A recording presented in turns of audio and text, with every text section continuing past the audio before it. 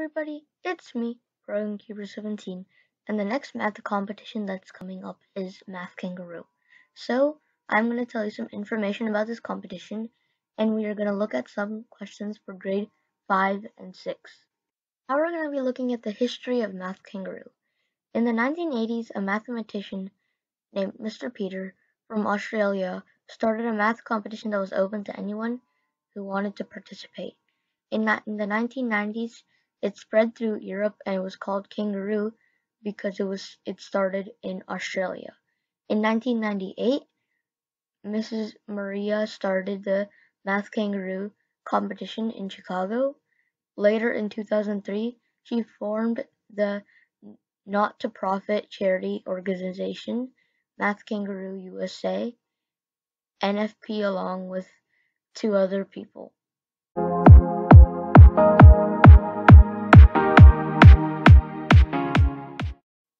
Okay, the first question. Which figure has one half of its area shaded? So A has three parts and one part of the three is shaded. So it'd be 1 over 3 or one third. So that's not a half.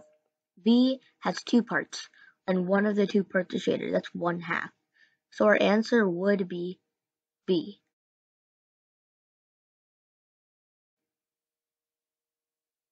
The next question. My umbrella has kangaroo written on top.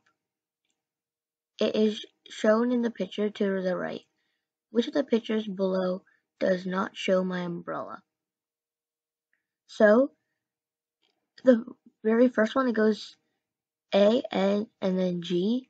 And if you look on the side, it has A, N, G. And the second one is O, O, K, O, O, K. G, A, R, G, A, R. And then N, G, A, N, G, A and then ARO and ARO. So all of them are placed in the right order. Now we have to look at which, if there any of them are backwards or upside down. So let's look with A. So A, the A is right, the N is right, and the G is right. Let's look at B. The O and the O and the K are all right. And now if we look at C, the G is right, the A is right, but the R is backwards. Because the R should have the bend towards the left, but this one has it towards the right. So our answer would be C. The next question is Sam painted the nine squares as shown in the figure to the right using the colors black, white, and gray. At least how many squares does he need to repaint so that no two squares with a common side are the same color? So these two pieces are the same. So if I change this piece right here to black, now all, all these six, first six are all fixed.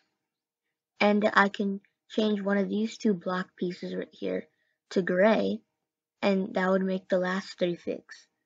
So it would be two changes. So our answer is A. Okay, so the next question. There are 10 ducks.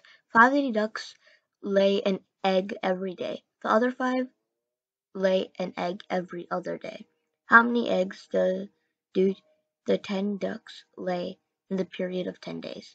So if we're looking at the first five that lay an egg every day, one of the five ducks can lay, lay 10 eggs in the period of 10 days. So we multiply that by 5 and we get 50 for the first five. And then the other five is every other day. So we would just divide the 50 that we had before by 2 and we will get the amount that the other 5 get, which is 25. And then we add 15, 25, and we get 75, which is A. So our answer is A. So the next question. The figure to the right shows a board where each small square has an area of 4 centimeters squared. What is the length of the thick black line? So, if one of the squares is 4 centimeters squared, that means we have to have, and it's a square, so the both sides have to be the same, we have to do the square root of 4, which would be 2. And because that means one, one line would equal 2. And we have to count how many of those one lines are in the black line.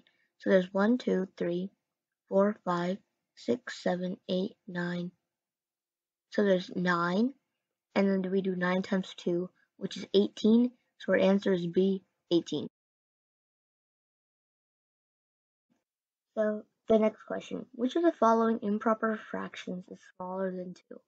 So let's look at the first one. 19 divided by 8 is 2 remainder 3. So that's more than 2. Now 20 divided by 9 is 2 remainder 2. C 21 divided by 10 is 2 remainder 1. That's still more. D 22 divided by 11 is 2. So but it's not smaller than it. And E 23 divided by 11 is 1 remainder 11. And that's less than 2, so our answer is E. Question 7. A pumpkin and a watermelon together weigh 8 kg. The watermelon is 2 kg lighter than the pumpkin. How much does the pumpkin weigh?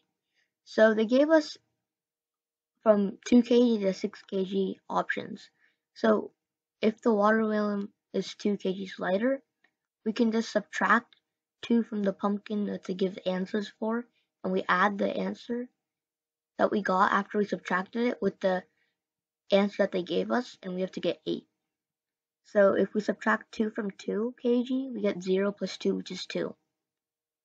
For B, we will get 1 plus 3, and it's only 4. Then for C, we get 4 minus 2, which is 2, then 2 plus 4 is 6, so that won't work. 5 would be 3 plus 5, which is 8. So our answer would be D. So the next question. Each plant in John's garden has either 5 leaves only or 2 leaves and 1 flower. In total, the plants have 6 flowers and 32 leaves how many plants are there? So if it's six flowers, we would need six flowers, so that would get canceled out. And then, because there's two leaves and one flower, we would do 6 times 2, which is 12. And we would do 32 minus 12, and that would get 20. And then we can do the rest with the 5 leaves only, and 20 divided by 5 is 4, and we can do 6 plus 4 and get 10. So our answer would be A. 10. Eva has four paper strips of the same length. She glues two of them together with a 10 centimeter overlap and gets a 50 centimeter long strip. So with the other two paper strips, she wants to make a 56 centimeter long strip. How long should the the overlap be? So what we can do for this question is if it says a 10 centimeter overlap, that would be only 10 centimeters in the meter in the middle. So, and she said it was a total of 50 centimeters that strip. So we can do 50 minus 10 and get 40. And because it was two strips, we can divide that by two and get 20. And we will get that it's the rest of it on both sides is 20 and because we have to add the 10 that was overlapping, we would get a strip is 30, 30 centimeters long. And now if we go to the second part of the question, which is how much the overlap has to be to make it 56 centimeters long, if we add 30 and 30 for the two strips left over, we will get 60, and subtract that by 56, we will get 4. And that will be a 4 centimeter overlap, so our answer is A. Tom uses six squares with a side length of 1 to form the shape shown in the picture.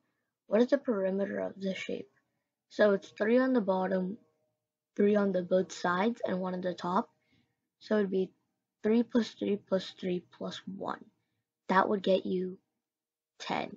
So our answer is B, 10.